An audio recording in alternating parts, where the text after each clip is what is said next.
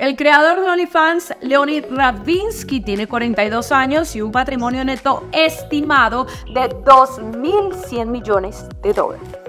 Se trata de un ucraniano estadounidense que lleva una vida bastante enigmática que se ha convertido en el magnate de la pornografía gracias a la famosísima plataforma OnlyFans. Sin embargo, a pesar del secretismo sobre su vida, hay algunas pistas que dan referencias de él. Su familia se mudó a Estados Unidos cuando él era apenas un niño y se establecieron en Chicago, pero ahora vive la mayor parte del tiempo en el estado de la Florida.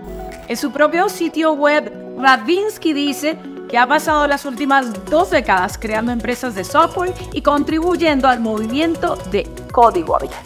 Y fuera de la programación y la filantropía, es un ávido lector que siempre está listo para una partida de ajedrez y que aspira a ser piloto de helicóptero. O por lo menos eso también lo señala su propia página web.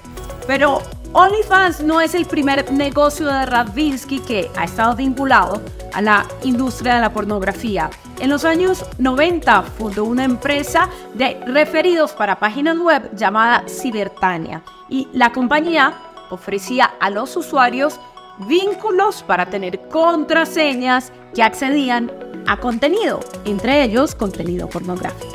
Y además fue dueño de un exitoso negocio de cámaras web para adultos.